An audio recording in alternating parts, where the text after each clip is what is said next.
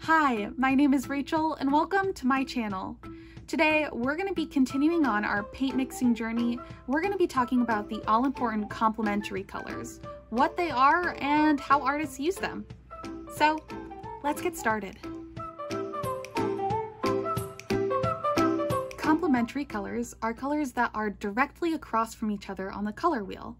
And the three most common types of complementary colors are red and green, yellow and violet, and blue and orange. When you put two complements next to each other, this creates visual dynamics, contrast, and intensity. And you may be wondering why. Well, it has everything to do with our eyes. The cones in our eyes, called photoreceptors, are responsible for how we view color by responding to wavelengths of light. Each color has its own wavelength, so cooler colors like blue and violet have higher wavelengths of light, compared to warmer colors like orange and red, which have lower wavelengths of light. And you may be wondering, why is this even important? Well, let me show you. Stare at the blue square on the screen. The longer you look at it, the less sensitive your eyes are becoming to blue light wavelengths. In a moment, when I remove the blue square, continue to stare at the center of your screen.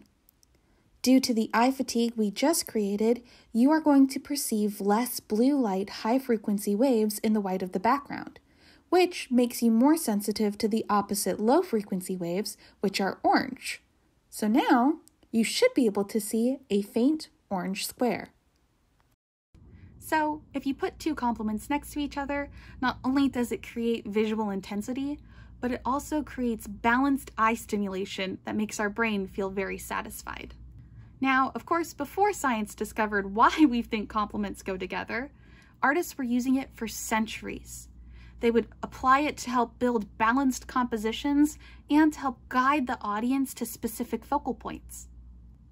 As fun as it is to create visually stimulating compositions, there's another thing that complements can do, which is when mixed together, they mute each other down and create neutrals, which is super beneficial to artists when they're building their color palettes. If you were able to mix two true complements together, they would neutralize each other and become a neutral gray or a black. However, paint that you can buy in the store will never actually get you to a true complement.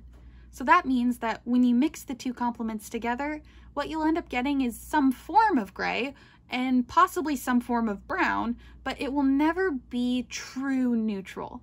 However, we can use that to our advantage. So for today's demo, I'm going to be working with oil paints because they are more pigmented than acrylic paints, but you can do this with either. We are going to create a seven-step complementary color scale to evaluate how mixing two complements together can shift saturation and value, and we are going to label what these new colors can be used for. I am starting with red and green, and I'm going to try to take equal parts of both to create my neutral, and I'm going to adjust as I go. And it creates this brown color, and once I'm done with that, I'm going to take a bit more of that red and create two more shifts down. Cleaning my brush thoroughly, and then doing the same with the side that's green. Now on to our labeling. Our center neutral is a warm brown color, and as a side note, we could cool that down if we wanted to by adding a bit of blue. And then the green side of this scale is what I call earthy greens and are great for a neutral and natural green color palette. And then on the red side, we've created dark reds. So this is just one way we can lower the value of red without having to use black. Next, we are going to move on to yellow and violet. Again, I'm going to start by trying to mix that middle neutral value. And once I feel satisfied, I am going to create two more steps by adding that neutral to the yellow and then cleaning my brush thoroughly and going ahead and adding the violet.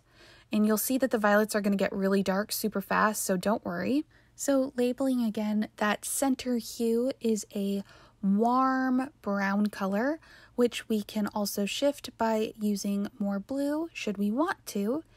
And then on the violet side, you'll notice that the values are very dark, almost black. And if you added white, you'd see that they kind of come out gray. So this is another way we can lower the value of violet. Now, as for the yellow side, I have no better way to describe these colors than mustard colors. So that is what I call them. You can call them whatever you feel comfortable with.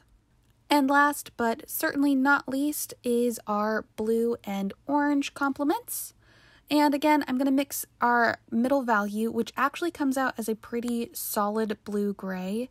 And then I'm going to create my two steps with my orange which takes me just a bit longer because I want to make sure they're fairly even. And then I'm going to add the blue into that gray color. So this neutral center value is actually a gray blue. And then on our blue sides, what we ended up creating is what most people would call navy blue or dark blue. So again, a way to lower value and saturation of a blue color is to add orange. And then on our orange side, we created dark oranges, which to me actually turn out as brown oranges. And so that is what I'm going to label them. And voila, you have created complementary color scales for the three main complements. So now you know if you put two complements next to each other, it creates visual intensity and contrast, which can help with creating focal points. And if you mix two complements together, you lower a color's saturation and create a neutral color palette. I hope you can start applying this to your own art practice. And if you liked this video, go ahead and give it a thumbs up.